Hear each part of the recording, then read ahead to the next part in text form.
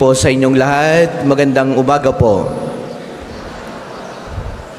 Yan, muli nga po, narito si Father Billy kasama ang mula sa parokya ng Sagrada Pamilya sa Quezon City. At marami din po itong pilgrims sa iba't ibang lugar. Welcome po sa inyong lahat sa Parish and National Shrine of St. Padre Pio. Atin munang palakpakan, purihin ang ating Panginoong Diyos, mga minamahal na mga kapatid. Ah. Napakainit sa Batangas. No, mainit. Pero tayo ngay naririto sama-sama nagpupuri at nagpapasalamat sa ating Panginoong Diyos. At lalong higit sa pasimula nga ng misa, ating nabanggit na tayo'y naririto bukod sa ating mga daladalang mga hinihingi, tayo ngay merong mga special na intensyon para kay Padre Pio. Amen. Nawa, no, baunin ninyo ang mga pagpapala at biyaya mula sa ating dakilang tagapamagitan, Santo Padre Pio. Mga may karamdaman, naway gumaling, mga may espesyal na hinihiling, naway ipagkaloob sa inyo. Ganon din kasama yung ating mga nasa tahanan ngayon. Ating pagnilayan ang mga pagbasang ating napakinggan, lalo higit sa mabuting balita narito si Nicodemo. Si Nicodemo ay isang pareseyo. Alam niyo naman, lagi nang si Jesus ay galit sa mga pareseyo. Laging simulat sa Paul, ang dami niya sinasabing again sa mga pareseyo.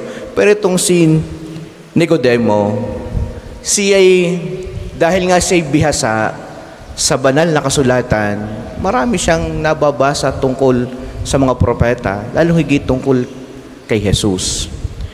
Bagamat hilaw ang kanyang hagip kung sino si Jesus. Kaya yan ay isang gabi sinadya niya si Jesus para hindi siya mapansin ng ibang mga pariseyo. At ito ang kanilang ang naging usapan, no? Tungkol sa sakramento ng binyag, no? Tung muling sabi niya, lahat ay kailangang ipanganak na muli, no? Yan ang sabi ni Jesus, kailangang lahat ay ipanganak muli. Maging panibago ang ating buhay. Kaya binigyan tayo ng isang napakagandang definition kung ano ang ibig sabihin ng Espiritu Santo. Tingnan ninyo. Umiihip ang hangin kung saan ibig at naririnig ninyo ang ugong nito, ngunit hindi ninyo alam kung saan nanggagaling at kung saan naparoroon. Ganyan ang ibinigay na pakahulugan ni Jesus kung ano ang Espiritu, kung ano ang Espiritu Santo. Kaya sabi ni Jesus, kailangan tayo muling ipanganak muli sa Espiritu ano kayang ibig sabihin nito? Ibig sabihin mga minamahal na mga kapatid, ano? Ang pagiging mabuting kristyano, hindi lamang yung pagiging masunurin mo sa batas. Hindi lamang yung susundin mo yung buong sampung utos ng Diyos. Oo, mabuting tao ka kapag kayan ay nagagawa mo araw-araw sa iyong buhay. Pero meron pang mas malalim na hinihiling sa atin ang Diyos ngayon. Yung papasukin mo ang Espiritu Santo sa buhay mo. Yung hayaan mong ang Diyos ang gumalaw sa buhay mo. Siya ang magdikta ng iyong buhay. Mahirap yan, no? Mahirap.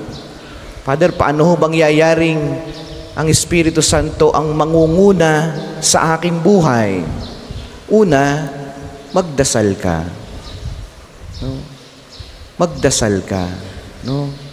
Pag ang tao ay hindi marunong lumuhod, pag ang tao ay hindi marunong kumilala sa kanyang lumikha, no? siya'y tatangayin ng ibang agos sa kanyang ng, ng mundong ito. No? Tatangayin ka ng iba. Hindi ang tatangay sa iyo ay ang Espiritu Santo. Kaya sabi ni Jesus, dapat suma sa iyo ang Espiritu Santo para madala ka ayon sa gusto ng Diyos sa iyong buhay. No? Dalhin ka ng Panginoon sa gustong mangyari niya sa iyo.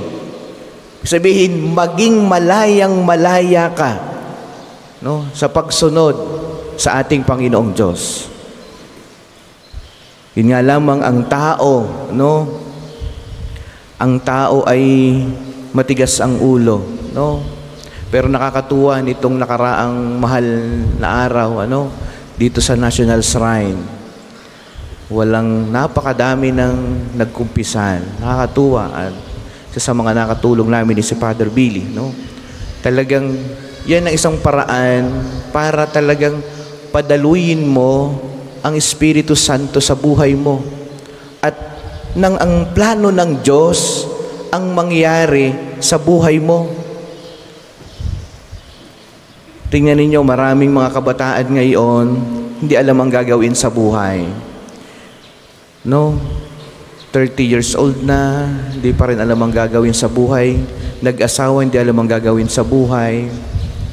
Sapagkat hindi ang Espiritu Santo ang panahanin sa kanyang buhay. Kaya walang direksyon ang kanyang buhay sapagkat hindi pinapalaya ang sarili. No, kailangan tayo maging malaya sa kanyang sarili. Maging malaya ka kung ang Diyos at ang Espiritu Santong ito ay pananahanin mo no, sa iyong buhay. Muli, sasabihin ko, mahirap. Pero, paano mo sisimulan? Dasal. Simulan mo ng basic ng pananampalataya natin. Nagdadasal. Nangungumpisal. No? Sumisimba. Nangungumunyon. No? At padaluyin mo ang biyaya ng Diyos sa buhay mo. Huwag mong hayaan na ang iyong kaluluwa ay laging nasa mga mabibigat na pagkakasala. Pag ang tao ay hinahayaan niya na ang kanyang espiritu ay laging nasa estado ng kasalanan, tiyak hindi mananahan ng Espiritu Santo sa iyo. Mayroong taong napakahabang panahon na ng kinikimkim na kasalanan. Merong mahabang panahon na niyang pinagdudusahan sa kanyang puso no, ang kanyang kasalanan. Kaya siya'y habang buhay na nagdurusa at naghihirap habang buhay na kinokonsensya. Ay ang Diyos ay nag-aantay lang sa kanya na siya'y magbago at magbalik loob. Ang buhay ng tao ay hindi ganon kahaba. Kung ikaw, sabi ko nga po lagi, kung ikaw ay 50 years old ngayon, huwag kang aasang may another 50 years pa sa buhay mo. No. Kaya yung ating buhay, mga minamahal na mga kapatid, no, lagi nating gugulin sa ating pagmamahal, sa ating pag-ibig, sa ating Panginoong Diyos. Huwag nating sasanayin na ang ating kaluluwa ay laging tigmak ng pagkakasala.